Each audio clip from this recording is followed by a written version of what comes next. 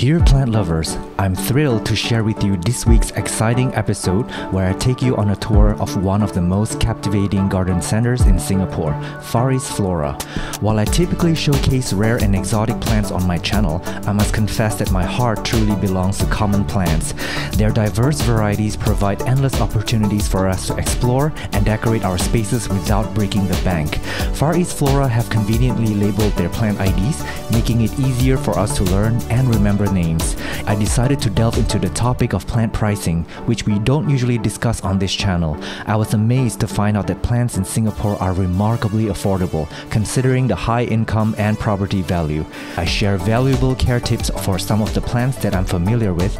This video may cause irresistible impulses to buy more plants. I must admit that even I couldn't resist buying a few plants during the editing process. So make sure to tune in this Saturday for a fun and informative episode.